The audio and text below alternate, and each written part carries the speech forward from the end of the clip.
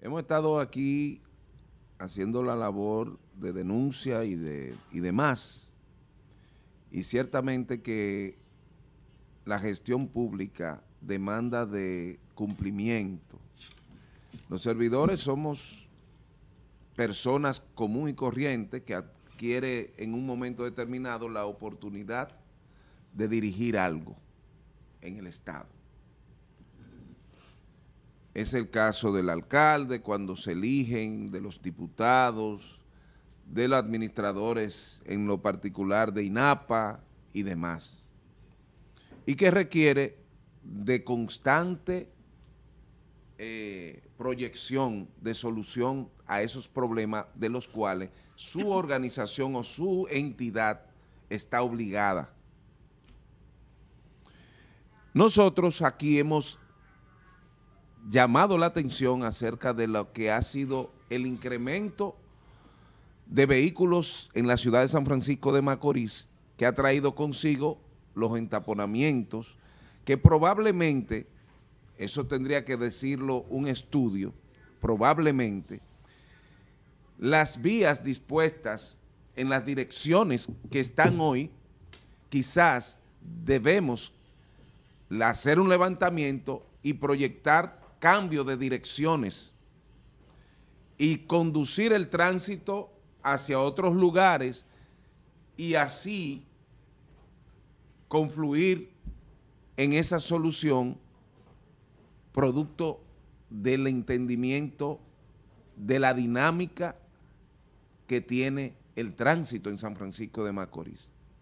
Pero hay un ingrediente adicional que es fundamental porque he dicho que los vehículos son, son objetos inanimados.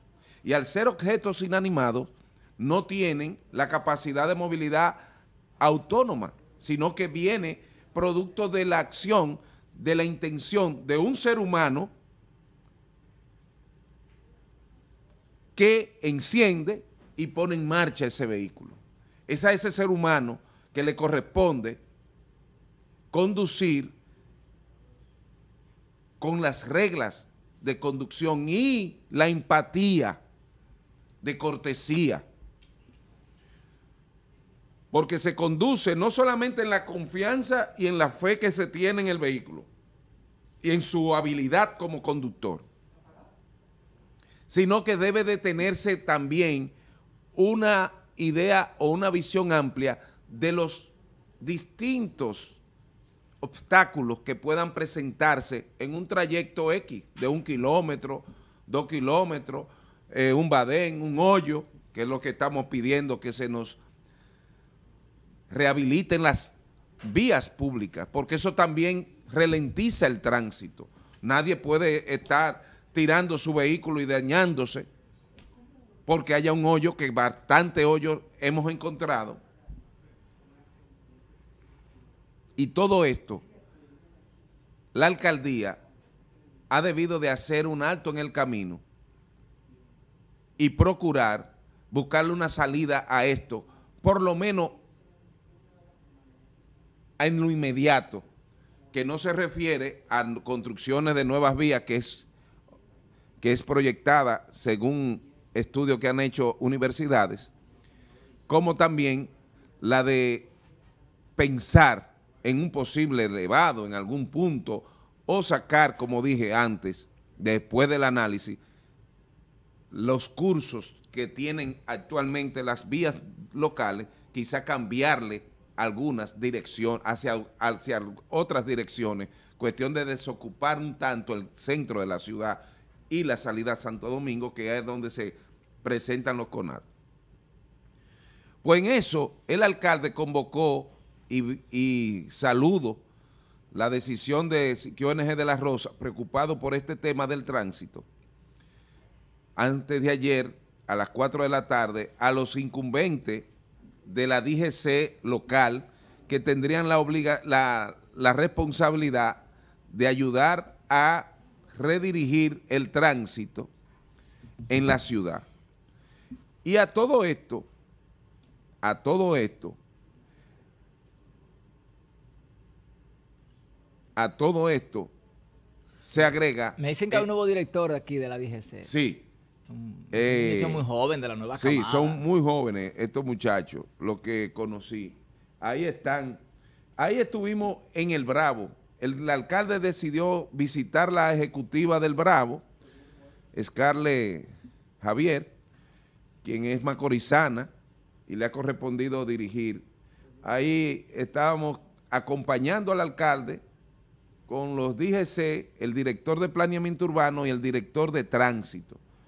El alcalde está tomando las medidas del lugar, incluyendo, ha dado orden para que la 14 de junio de la urbanización Brugal, donde yo vivo, sea intervenida en lo inmediato como una especie de desahogo hacia la avenida de las Cejas. ¿Se, conecta por Directa.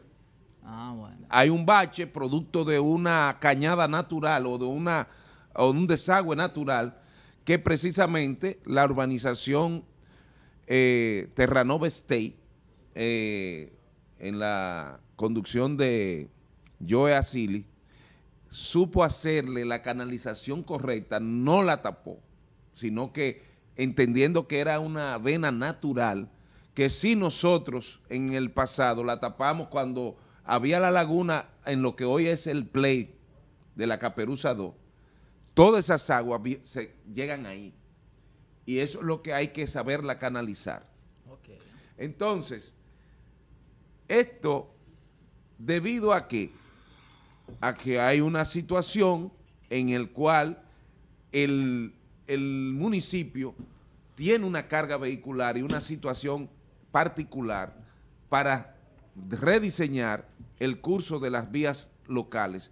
Y qué bueno que esté en acción la alcaldía de San Francisco de Macorís para organizar mínimamente lo que es el tránsito. Y se le ha pedido en la parte del Bravo que la puerta que está justamente en la curva sea utilizada para salir, no para entrar, y que se entre directamente a la urbanización donde tiene una entrada justamente que puede en la señalización que hay actualmente pueden estar en fila 10 vehículos, según cálculos, y puede permitir que sigan fluyendo hacia Santo Domingo o hacia la salida a Aguayo, todo el que vaya para allá. Y entrando a la izquierda, colocándose en el centro izquierdo para doblar a la izquierda, en la urbanización, justamente entra el Bravo y puede salir y entrar a la vía principal cuando salga del Bravo. Eso está dentro de las medidas, como también la de finalizar la entrada del nuevo Jumbo que está aquí en San Francisco de Macorís, que no se ha, según explicaciones, no se ha habilitado esa parte que se ve en el frente como marginal, producto de que no se ha podido transferir los cableados que hay ahí que pertenecen tanto a, las compañías telefónicas, pero también de, de Norte. Y ya se cumplió porque en esa comisión estaba el responsable de esas redes porque el alcalde se comunicó con Bien, cómo no, gracias, y lo autorizó. Gracias por tu esperamos, esperamos finalmente que ya se le busque una salida, una solución. Me, mandaron, Francia, a este,